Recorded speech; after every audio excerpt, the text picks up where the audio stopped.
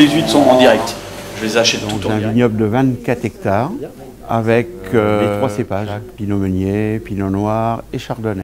On va voir des caves qui datent du 18e, qui sont attenantes avec celle de Moët-et-Chandon et avec celle de Lançon. Alors c'est des caves euh, taillées dans la craie, euh,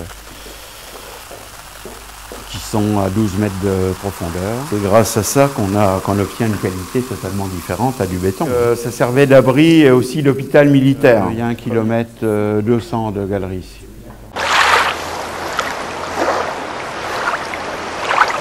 Je viens ici, ça sera donc, il y aura un petit assortiment d'amuse-bouche avec un espadon mariné au gingembre, euh, un mini tartare de dorade à la mangue et un petit blénis au saumon fumé. Un petit blénis avec un petit morceau de saumon fumé et puis peut-être un peu de tarama fait maison. On fait notre tarama.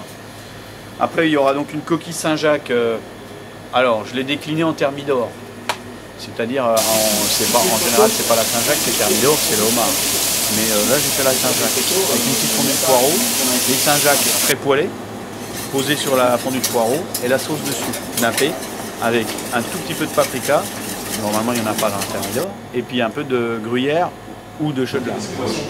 C'est la coquille Saint-Jacques thermidor ou la déclinaison de canard et de foie gras, parce que ça ne nous empêche pas de faire de la viande. En plat, il y aura une lotte aux petits légumes avec une sauce au safran, euh, ou un casiveau euh, risotto aux champignons. Donc tout ça, ça sera euh, cuisiné, ils auront juste à réchauffer. En fromage, il y aura un brie farci à tapenade truffée.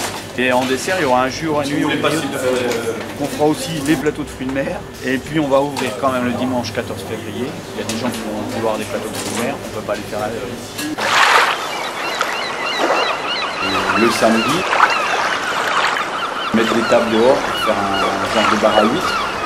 On a les huîtres, on a le vin, on a la l'essence. Il nous reste juste à attendre un peu ça fasse un peu meilleur pour pouvoir mettre des manches en terre, enfin devant. On a une terrasse, autant en profiter.